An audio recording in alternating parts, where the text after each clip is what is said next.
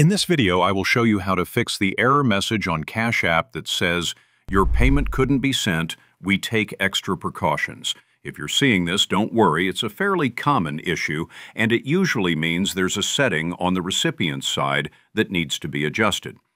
The first thing the recipient should do is open the Cash App on their phone. Once it's open, tap the profile icon in the top right corner then scroll down and look for the Privacy and Security section. This is where the most important settings are. The first setting to check is Incoming Request, sometimes called Allow Others to Request Money from Me. If this is turned off, the payment may not go through. Make sure it's enabled. The second setting to check is Allow Others to Find Me. This lets people locate the account using a cash tag, phone number, or email. If this is off, the system may not recognize the account, so this should also be turned on. Once both of these settings are enabled, try sending or receiving the payment again. In many cases, that's all it takes to fix the issue. But if the error still pops up, then it could be due to account restrictions, pending verification, or a technical problem. At that point, the best step is to contact Cash App support directly.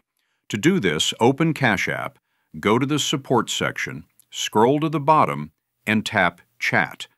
Explain clearly what's happening, include the error message, and mention the steps you've already tried. This helps their team resolve the problem faster. And that's it. By checking these settings or reaching out to support if needed, you should be able to fix the payment couldn't be sent error and get back to sending money smoothly.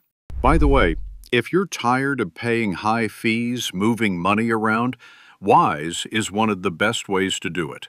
I use it myself to send and receive money with some of the lowest fees out there, plus you get free virtual and physical debit cards that work globally.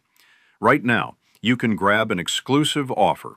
Your first transfer up to $800 is completely free with zero fees. Create your free Wise account today using the link below